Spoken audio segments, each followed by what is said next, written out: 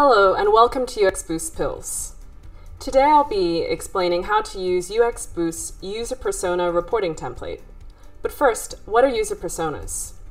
User personas allow you to get to know your target audience on a more intimate level through your research. When you collect data during research, the demographics are useful as is, but as static numbers, they don't really serve you as much as if you create a set of user personas. When you create personas, you are transforming these numbers into better representations of your audience. With user personas, the product team can better understand common pain points users have and better improve the design process and ultimately the product or service. Other reasons to use user personas include you can create a product without a user persona, but it's difficult to empathize. Personas are a strong communication tool to frame the product within the team. It creates dynamic scenarios for satisfying different personas. So, now that you're convinced as to why user personas are important to include in the design process, let me go through the structure of the template with you, so you can put it into use. Oh, and UX Boost Academy will be launching a course on user personas soon, so stay tuned. How to use the user persona reporting template.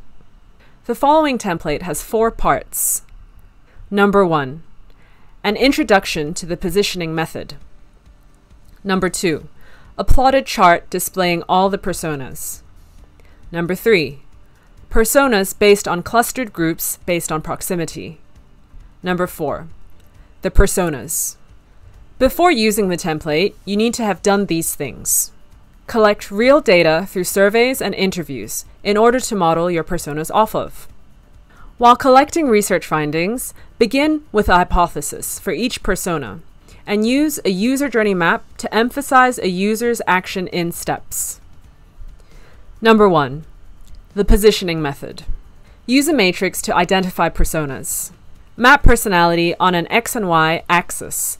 Identify two attributes that can be used to segment the audience into like groups. Find a common metric to track across different personas, for instance, tech savviness, hiking ability, etc. In my example, I'm working for a fictional client, Trailwalker app, an app for hikers with hiking trails, offline maps, track logging, fitness goals, etc. So my X and Y attributes are level of hiking experience and tech savviness in using the Trailwalker app. It's important to highlight products your audience already uses in your industry. For instance, a Trailwalker app if your client already has the app downloaded, or if not, a relevant product. Numbers 2 and 3. Plotted chart and cluster groups into personas. Cluster multiple personas into groups. Prioritize personas based on which of the identified personas are particularly important. It's particularly useful to include these slides, as the better the data is visualized, the more likely they are to be used. Good for stakeholders to have as a quick visual reminder. Number four, the personas. Finally, on to the personas. The persona slides include three to five unique personas based on first talking to actual users. Remember, always use real data. Can include a number of different demographics characteristics, for example, age, gender, etc in order to make them as realistic as possible, but not too much as this becomes overwhelming. Pick what's relevant to your client's company. Photos should be realistic, not of a supermodel, etc.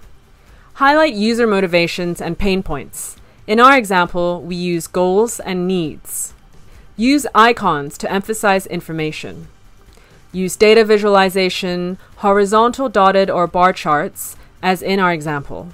Include whatever is helpful for your company. For instance, as Trailwalker is an app, we decided to talk about tech savviness. Keep layouts consistent. The better the personas look, the more likely they are to be used. Utilize images, symbols, and graphics as much as possible. Highlight the differences between personas. Use a quote as a key takeaway or differentiating factor. Ultimately, personas have to be realistic readers should be able to picture them vividly in their minds. Ultimately, personas have to be ultra realistic in order for them to be effective. Your audience has to be able to imagine them sitting right in front of them as if they could lean over and touch them. If you want to learn more about user personas, stay tuned for our full length course on user personas soon to launch on UX Boost Academy.